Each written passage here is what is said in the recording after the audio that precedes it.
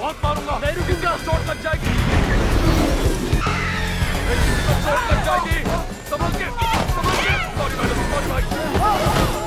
Sir समझ के पीछे देखो। सॉरी सर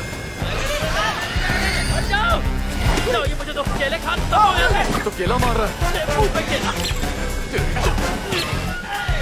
चले क्या कर? ये कोई खेल नहीं है। क्यों मार रहा है। तू गया।